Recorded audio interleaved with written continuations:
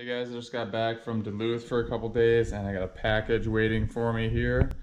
So I'm excited for that. I'm gonna open that up in a second. Um, if you remember any of the older Jon B videos, he opens unboxings in kind of a goofy way over the top way. So I'm gonna kind of replicate that little homage to Jon B. And if you guys don't know who I am, I'm Chris, Chris Fish and Fitness. I make fishing and fitness videos. I'm hoping this video is gonna get some traction because doing a video on a Shimano SLX unboxing DC, SLX DC unboxing, and my first impressions on the water, which will be tomorrow.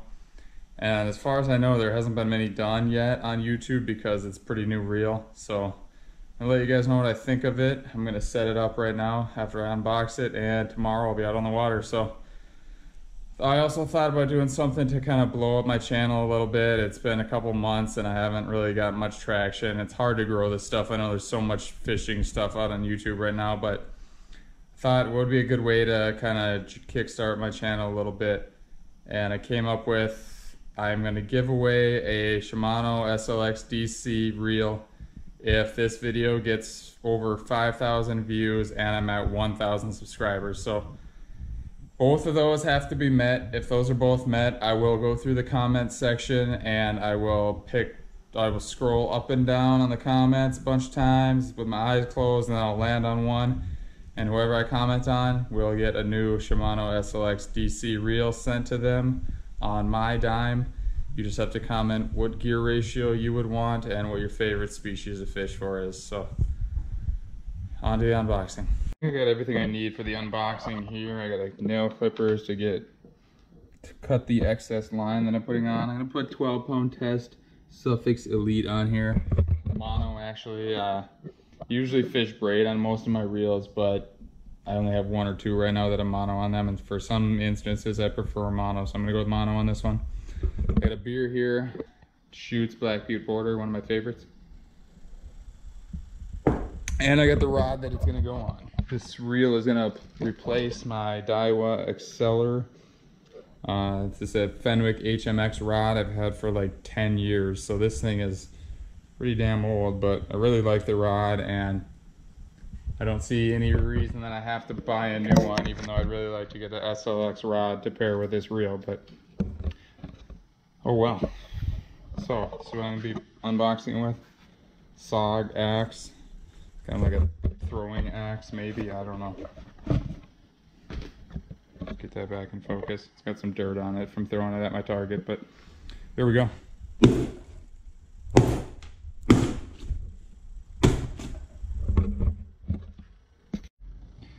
Watch me break the damn reel before I even get it. Alright, this axe is quite sharp. So, Inside this box, we got some protection in case any idiot tries to open it with an axe. Yeah, box is a little dented here. And inside we got a Shimano SLX DC. Looks to be alright. No axe damage on it, so am I getting this into shot? Who knows? Figure it out later. So, holy crap, this thing is freaking light. My god. So I really don't have much to compare this to. I don't have the regular SLX, but it's a little, from what I understand, it's a little bit wider than the other SLX. Got the DC chip in there, which must not weigh very much because this thing is super light. So this is the reel model SLX DC 150 XG from Shimano. Three different uh, gear ratios. Then it comes with a little reel oil bottle here. So there's three different gear ratios for this thing, and I'm not exactly sure what those are. I'm gonna look them up right now. Give me a second. All right, so looking it up on Shimano's website, the, the SLX DC 150, just the regular version, has 6.3 to 1 gear ratio, 26 inches per retrieve per crank, the SLX DC 150 HG has a 7.2 to 1 gear ratio and 30 inches per crank. And then the SLX DC 150 XG has an 8.2 to 1 and 35 inches per crank. So I got the XG, I believe, right? Yep, 8.2. I got that faster gear ratio because I'm usually fishing on a stand-up paddleboard and I like to be able to pick up line quickly, especially because like a two mile an hour wind will kind of push the paddleboard kind of quick. So as soon as I cast it out there, I want to take up slack pretty quick. So that's why I wanted the higher gear ratio. Um, all three of them have, oh, wait a minute here. 11 pounds of max drag for the XG and the HG and 12 pounds for the regular. So the regular 6.3 to 1 has an extra pound on the max drag, which probably doesn't make much of a difference, but 4 plus 1 bearings, doesn't have a lot of bearings, but I've heard it's really smooth and ball bearings really aren't the end all be all. And it's 7.6 ounces, so this thing's pretty damn light. So if you want to enter that giveaway, once I get to, if, if and once I get to a thousand subscribers, and 5,000 views on this video. Comment your favorite species to target and which gear ratio you would prefer. And I will scroll through, once those two criteria are met, I will scroll through and pick a winner. So now I'm gonna put this on my rod and put some line on it and set it up. All right, so I got the line winded on here now off my little spooling station gonna fill this up and I wanted to wait until tomorrow on the water to take the first cast with it, but I don't want to wait anymore. So I'm gonna cast it out in the driveway here. I'm probably gonna put just a weedless frog or something on it just to cast it and see how the thing casts. I'm got pretty high expectations, so we'll see how it goes. So here's the brake settings. Number one, for maximum distance in calm conditions. Number two, for braided and monofilament lines in any condition. Number three, fluorocarbon lines in any condition. And number four, extreme windy conditions, beginners, and skipping. So let's go test that out. All right, so I was gonna do it in the front yard, but the neighbors are out and they're gonna be funny looks, so I'm going to adjust the spool tension knob here until the lure barely falls, which is about right there. We got it on setting one, which is max distance. And we'll see how far this thing casts. This is a compact frog by Lunker Hunt. Not an easy lure to cast. My good lord, it freaking bombed it though. Holy cow. And I'm stuck on some tree great. Weedless lure really works great. Just gonna pause this while I go on unstick my lure from that tree. So guys, long cat long distance casting isn't quite always what it's cracked up to be. Um, my other top end combo, which is not really top end, it's more of like a mid top end, is a Tatula SV. And that thing casts pretty damn far and a from some of my old reels that didn't cast as good, you're not used to that new distance. You will catch trees a lot if you're not careful. So just keep that in mind. Let's try another one here. I'm not gonna put my thumb down. I, I don't know, I don't remember if I put my thumb down on that last one or not, but I'm gonna not put my thumb down on this one and see what happens. Slight, slight overrun in the line there, but not really too bad. And I'm gonna catch that damn bush again. Yep, and and I'm stuck again. I gotta go get it. All right, guys, setting two. And I think that's on two, right? Yep. And honestly, on setting one, I was not really putting that much force into it. And that thing sailed way farther than I thought it was. So see how setting two is. Um, again, I'm not gonna thumb it. I'm just gonna cast. Was a slight overrun, but it came out. And my frog is free, so I can just reel it straight in. That's awesome. All right. Let's try one more. I'm really gonna try to hold the reel up here. Ah, that was right into a pine tree. All right, I'm really gonna try to hold the reel here and show you if there's any overruns. There's no overruns, but there's probably a foot or so of line that's not wound on there super tightly. So I, I would say you don't have to thumb it, but it definitely doesn't hurt to thumb it. Maybe if I have the spool tension knob slightly tighter, it would be better too. There, the spool tension knob is not falling. Let's try that. Oh yeah, that's a lot better. So I tightened up the spool tension knob a little bit and now there's absolutely no overrun.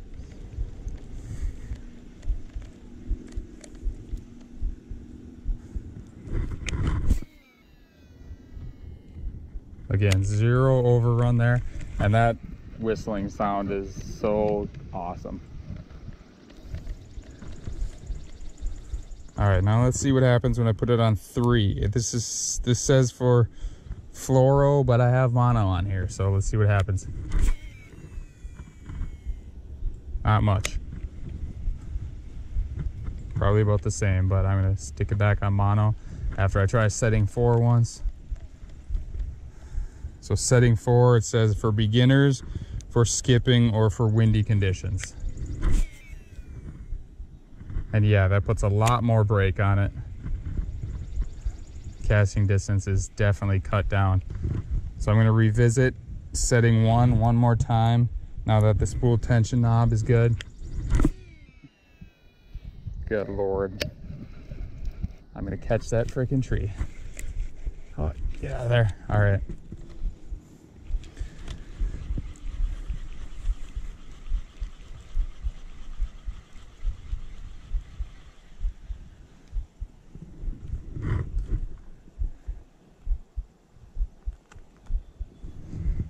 This is just fun. I'm gonna take a few more casts off camera and then I'm gonna go in and put my lure on and get ready for fishing tomorrow morning.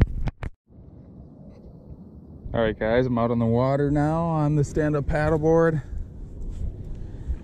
Got the dial set to one. It's not windy at all, so it should be fine. And it launches it.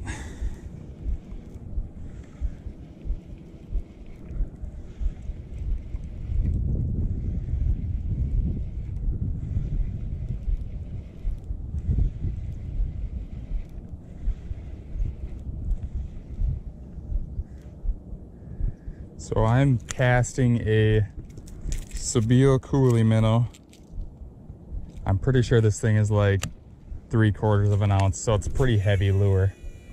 I would definitely expect it to cast pretty well.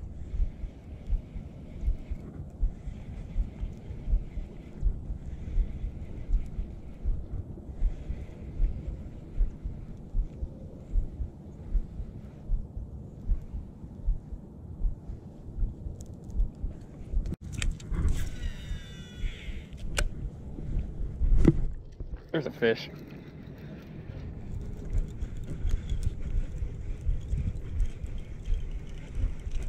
Not a very big one. But it is a bass.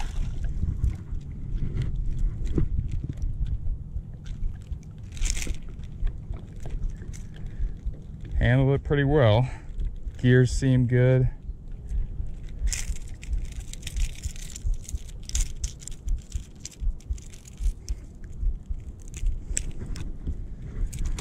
If you guys have used the Curado K, that thing has a micro module gears. I don't think the SLX DC has micro module gears, so the micro module gears just feel so solid. And this one doesn't quite feel as solid as that, but it still feels pretty good.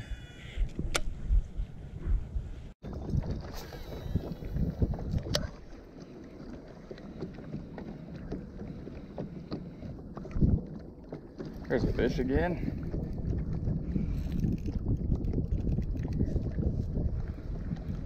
Feels decent, drag's handling good. Probably just a little northern, but we'll see.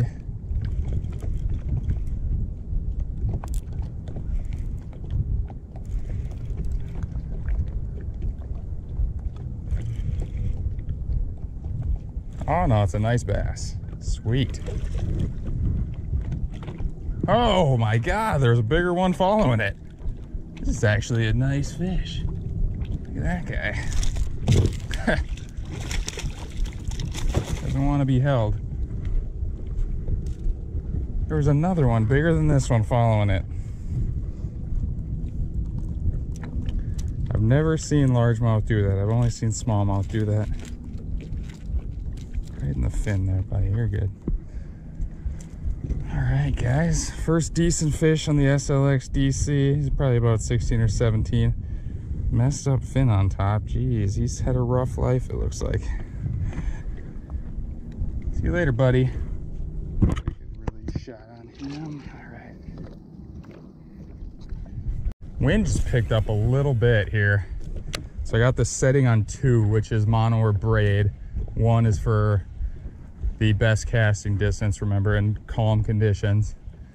And I, have lost a couple feet, but it hasn't been too bad. Oh, there's a fish.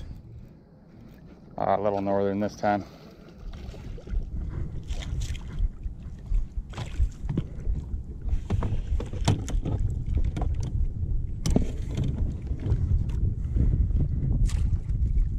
Get my pliers out. And let's get this guy off. Always fun taking little northerns off of treble hook baits. Shaking hooks by your hand. There you go, buddy. All right, I think I'm gonna take this Sebile Koolie minnow off here and switch to something that's a little bit more weedless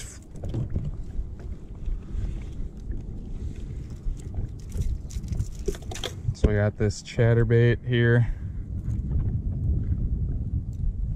The Moxie trailer, chartreuse skirt. That's what's gonna go on next.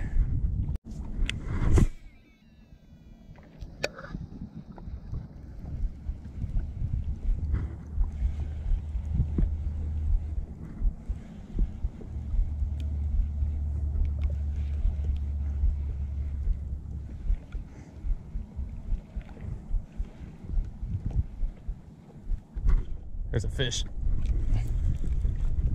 Another bass.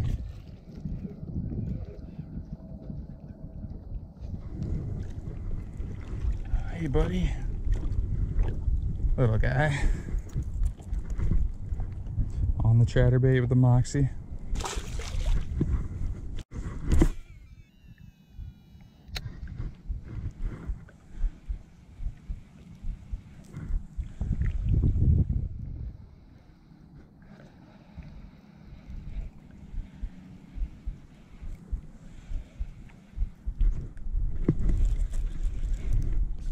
There's a fish again.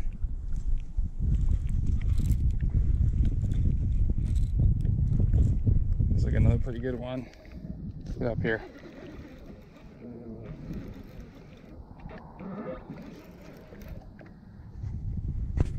Buried in the damn weeds. Get out of there. Come on. Wow. Taking a pile in here with me. Oh, it's another nice bass. I think at least. Barely tell how big it is because all the weeds on it, but.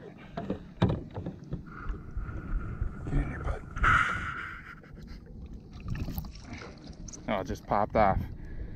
Nice fish. Nothing too special, but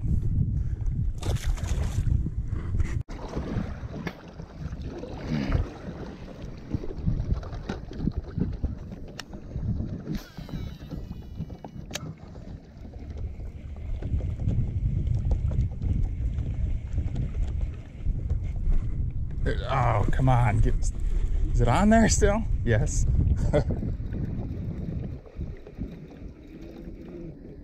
and this one's a northern. And he's in the weeds. At least I got him on a chatterbait this time. So there will be no treble hooks. And he took my Moxie. Oh no, there it is. Open up. There you go.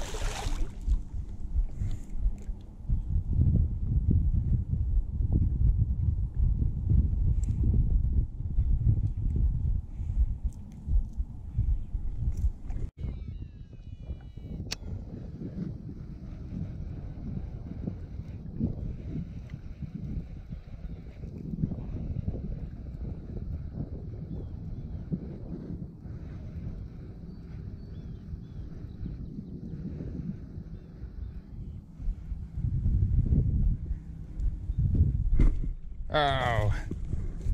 Tiny guy hit it right at the board.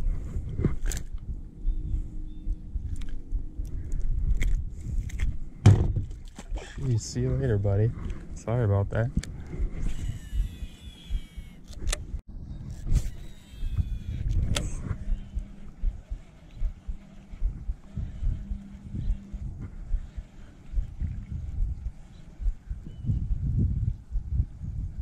Oh, there's a decent bass.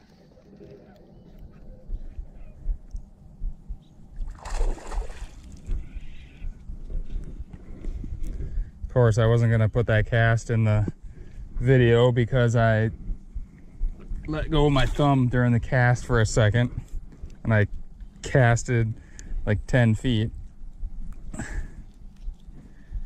But since I got a fish, it's probably going to go in the video now. Oh man, you swallowed it. Kind of, didn't you? Where is it? Can't tell where it is. There we go. Just slightly threaded through your gill. Get it out of there without doing any damage. There we go. Thought he was a little bigger than that when he hit both sides, but or board side, I should say.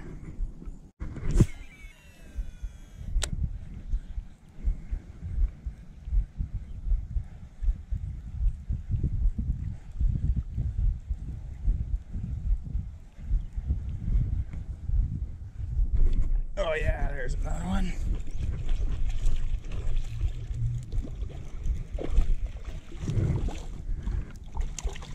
Not very big, but good numbers at least. Holy cow. All right, buddy. See you later.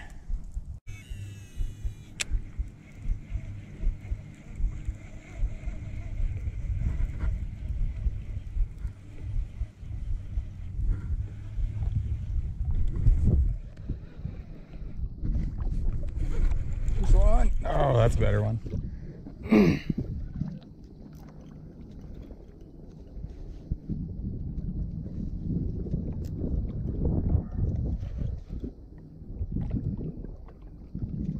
Man, this thing's got some strength. It's not that huge. My bud.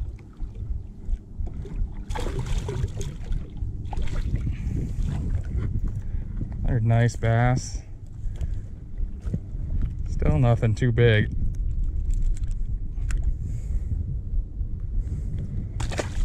Definitely have not broke the 18 inch mark yet.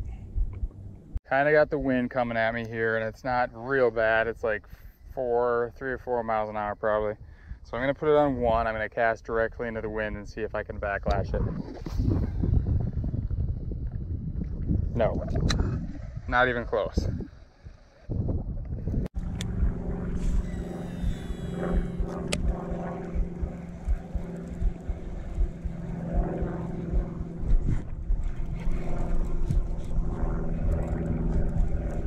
Here's another fish.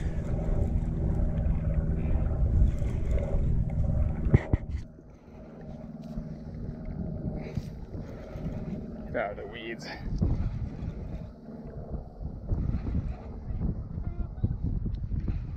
That's a good bass.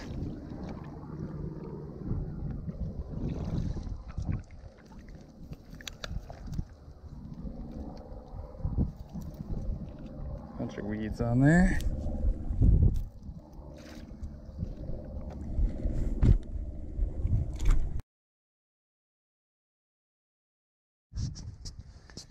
All right, guys, so I'm gonna wrap this video up here of the SLX DC review. Uh, this, I really like this reel. It's been a great reel today. Uh, I think I caught like 20 bass, only four or five that were good size, but a couple small northerns, so it held up well.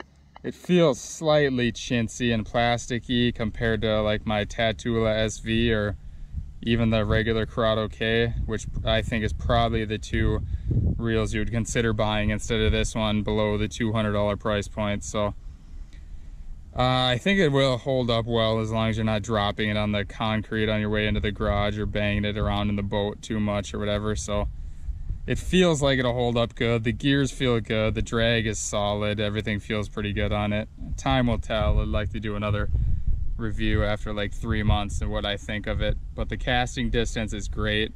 If you have a heavier lure, I had it on the first setting pretty much the whole time, even casting in the wind. Lighter lure, you might have to go, or something that catches a wind, you might have to go to a two if you're in the wind.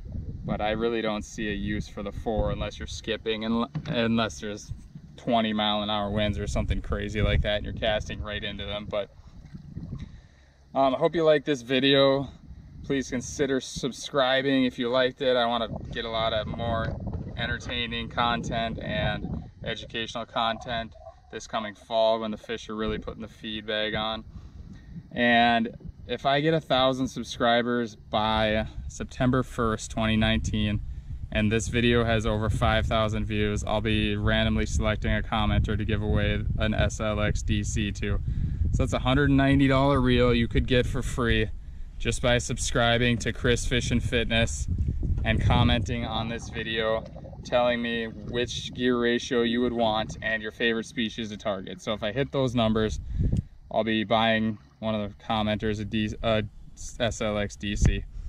And if you're interested in my stand-up paddleboard setup, which I was fishing on today, I will leave a video showing this in the description below so you can watch my other video. I think it's called my stand-up paddleboard setup or something. But it's a really slick way to fish and I think if you guys want a cheaper way to get around on the lake without without doing bank fishing or without spending a bunch of money on a boat, this is the way to do it. So I'll link that in Hope you guys enjoyed the video today and subscribe, share with your friends and see if you can win that SLX DC reel I will hopefully be giving away. I had a feeling I would do this. I went to Runnings after this review video and got the Shimano SLX rod for the SLX reel. Just pairs together so nicely and this rod is a lot lighter than that HMX. So it is a medium action, extra fast Shimano SLX 7 foot 2 inch rod. Looks really nice with that SLX reel. Blue, black. Thing just looks sweet. Hopefully I can really put this thing to the test soon and catch some big bass on it. For now I tied on this goofy looking Bomber A. Right, Bomber 2.4A or 24A or something, I don't know. Cool color pattern, we'll see how that thing works out. So this guy's gonna go over here. Oops. And on the HMX that I just had that on, I put the Daiwa Exceller back on there and I just put kind of an old spinner bait on there. So I'm gonna just throw this in the truck when I'm fishing and hopefully I see some kid at a landing or something that wants a new rod and reel and I can just give it to him. Last year I had a kid that when I came up to the landing on the paddleboard, he looked at my gear and he said to me, nice bait casters, all excited. So it's kind of funny. And I'd really like to just be able to go to the truck and be like, oh yeah, here you go, here's one for you. So I don't have much use for that anymore. Um, I've kind of upgraded a lot of my equipment over the last couple years, so I'd like to give it to someone that needs it. Um, if you're interested in what kind of gear I have to compare the SLX to, I'll just quickly go through some of my more expensive higher end reels. I got an Okuma Helios SX spinning reel. I got a Daiwa, what is this, Saltist Back Bay reel. I got a Quantum Vapor baitcaster, Daiwa Coastal, Daiwa Tatula, Shimano Tranx 200, Lew's Mach Crush, this is the SLX, this is the Curado K, this is another Tatula SV, and this one is a regular Tatula. I don't think it's a CT Type R, I think it's just a regular Tatula, a couple years old. So that's kind of what I'm comparing the SLX to.